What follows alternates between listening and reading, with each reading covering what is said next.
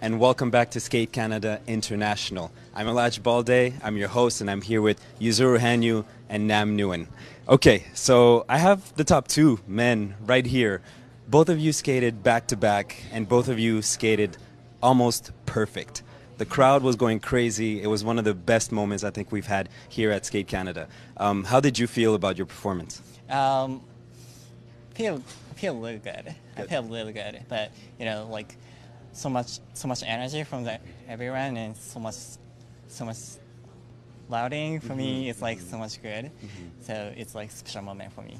Yeah, I think it is a special moment, and we can see how appreciative you were. You know, you went down, you touched the ice. You know, it was really special. Yeah, the ice was your friend. Especially Skate Canada International. Yeah. Skate Canada International. So uh, the ice was your friend, and clearly you did a really good job. And I think everyone is super ecstatic for you. And for you, Nam, to go out right after him, and the teddy bears were everywhere.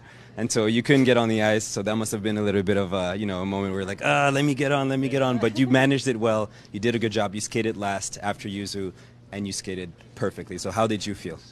Yeah, no, I felt uh, felt pretty good. I mean, uh, there was a moment uh, backstage while I was waiting. I was kind of freaking out a little bit, but then once I put my skates on, like it felt great on my feet, and I was able to calm down. And um, I pretty much watched Yuzu's entire program, and uh, I'm actually like kind of used to that because I used to train with him on a da- daily basis. So I was able to kind of just channel that energy and um, the whole Winnie the Pooh situation. I was I was Used to it. I was able to handle it nicely. Uh, the biggest concern for me was making sure I don't run into the flower retrievers.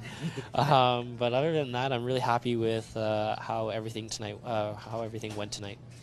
Well, congratulations to both of you. We're really looking forward to see you for the rest of the season, and uh, hopefully we'll see you guys at Worlds. And uh, good luck for everything.